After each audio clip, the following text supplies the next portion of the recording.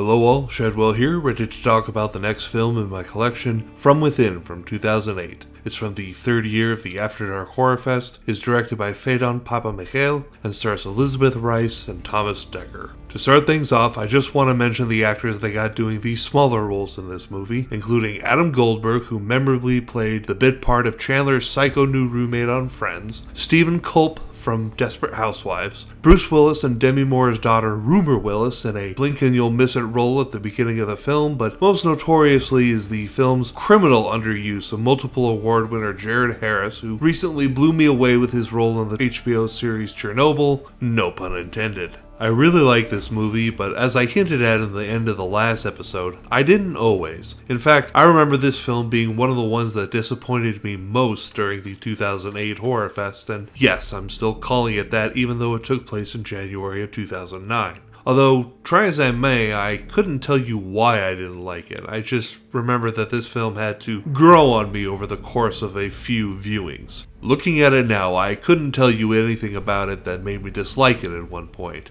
When it comes to the subject of what is not to like about From Within, I am made of questions. It's about a curse that is causing the citizens of a town to kill themselves one at a time, which sounds harsh until you find out what kind of town it is and why this curse has fallen on them, at which point you're like, oh, I totally get it. This town needs some killing.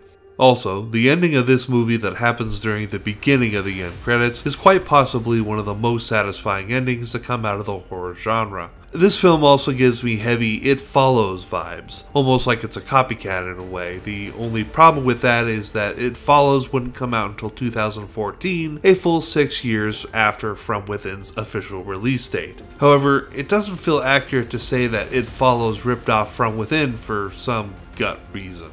Obviously, if you're a fan of It Follows, then this is a great film pick for you, but I also get the feeling that if you watch The Happening and wish it wasn't a huge pile of dog shit, you'll also like this film quite a bit. As for me, I'm giving From Within a straight B because it's good, but not too good. Join me tomorrow when I talk about the crap fest that is Perkins 14. Spoiler alert, it is not going to be pretty. See y'all then.